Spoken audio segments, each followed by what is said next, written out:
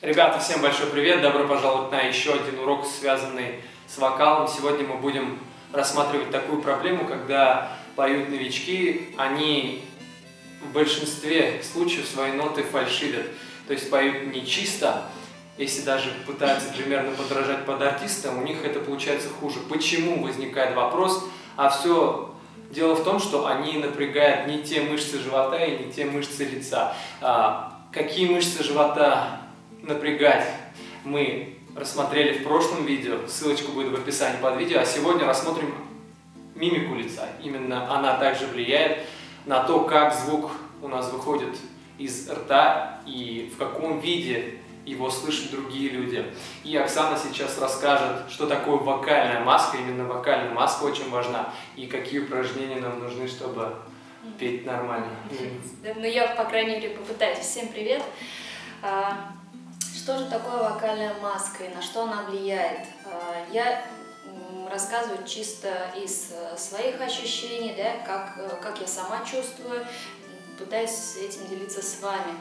А, значит, э, Вокальная маска влияет на, конечно же, качество звука. Когда, допустим, человек э, поет без вокальной маски, просто, допустим, не улыбаясь, да, без, опять же, без какого-то настроения, какой-нибудь звук там ля, звук получается такой немножко потухший, немножко такой неинтересный. А если человек улыбнется немножечко, да, а, и да, поднимет вот здесь вот у нас, да, есть верхняя губа, нижняя губа, да, а, и немножко улыбнувшись поднимет верхнюю губу, то, естественно, звук уже поменяется. Ля, он уже будет поярче звучать, поинтереснее и уже посветлее. Как же этого добиться? Ну, вот на, на Раиле буду сегодня экспериментировать.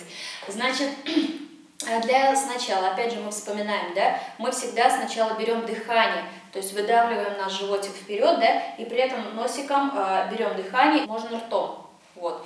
И потом, значит, вот эту верхнюю губу необходимо приподнять. Вот так, да. То есть показать вот эти верхние зубики. Вот. А нижняя челюсть у нас должна опускаться вниз. То есть она должна не напряженной быть, ага, она должна опуститься. И таким образом получается вот такой как бы прямоугольник. Угу. Ротик прямоугольник. И язык должен лежать, не подниматься, не этот, он должен ровно лежать. То есть мы должны петь как будто бы на кончик языка. А, давай попробуем, возьмем дыхание и просто откроем ротик. Получается, да. Еще ниже можно отпустить челюсть. Вот, отпускай. Да. Вот, закрывай. Вот теперь попробуем взять звук а, какой-нибудь, да, внизу возьму. Вот. И попробуем на звук «да» э, спеть, да, при помощи вокальной маски. Попробуешь? Только сначала берем дыхание. Давай. То есть взяли дыхание, носик, в носик. Да. И сняли. Да. Теперь попробуем, чтобы вы видели разницу, да, не без маски, просто спой. Да. Поехали. Да. Теперь с маской. Да. Все, спасибо. То есть э, всегда максимально отправляем звук вот в эти верхние зубки. Если это касается э, высоты тоже звука, если чем выше звук, тем ротик у нас будет опускаться ниже, и вот эти зубы должны э, показываться больше, да, и губа верхняя подниматься выше. Чем звук ниже, мы, то есть рот уже так сильно не открываем, мы поем просто на улыбочке. Но вот эта вот часть у нас должна быть тоже открытой. Чем выше? Да, нет, ниже. Ниже. Когда звук идет вниз, мы поем как бы с таким ощущением, что как будто мы вверх угу. идем. А когда а, звук идет вверх, мы наоборот должны с ощущением, как будто бы мы так сели основательно, да, угу. и поем. То есть не надо тянуть там наверх тянуться, да, то есть ощущение должно наоборот вниз пойти. Угу. Вот, как бы такое вот соотношение должно быть. Давай попробуем. Значит, мы с тобой возьмем звук а, нижний, да, на улыбочке просто. А верхний звук, так, какой у тебя верхний звук? Давай возьмем октаву, да? А, нижняя и верхняя нота. Я ставлю наверху, так как мне внизу сложновато. Допустим, мы поем сначала, не опускаемся на челюсть, да, на улыбочке. Да, да. Да, челюсть отпустили. Пробуем с тобой. Обязательно не забывайте про дыхание. Поехали, взять дыхание. Не очень постарался. Надо было еще больше поднять и челюсть отпустить. Э, для того, чтобы вы почувствовали челюсть вообще, куда она должна опускаться, да, и как она должна. Вот просто нужно сказать слово «да», «да». И при этом можно 10 раз повторить «да», «да», да, она не должна челюсть никуда не ходить, она ровненько. Чтобы э, вы видели, обязательно надо это делать перед зеркалом, да, чтобы себя видеть, потому что начинается да, да, да, кто-то так говорит, по-разному говорят вообще. И язык там у кого-то начинает подниматься, да, да, и не знаю, что начинает делать вообще, поэтому обязательно смотрите в зеркало.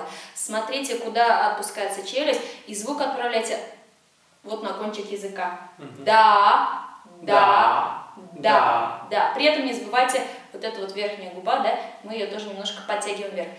Да, да, да, да. Так, можно еще май сделать. Давай попробуем. Получается слово май мы тоже так же челюсть опускаем. Май, май, май. Попробуем. Май, май, май. Теперь сам. Май, май, май. Потом попробовали это спеть.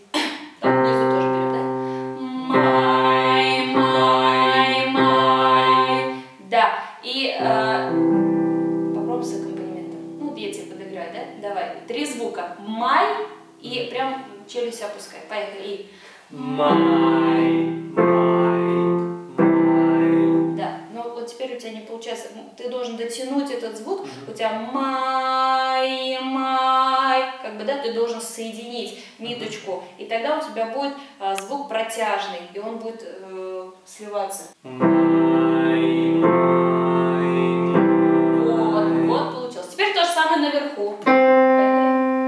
Май,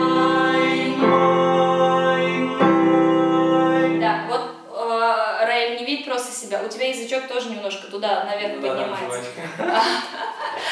Вот. Друзья, занимайтесь без жвачки. Вот. Поэтому язык обязательно должен э, к зубикам прижиматься.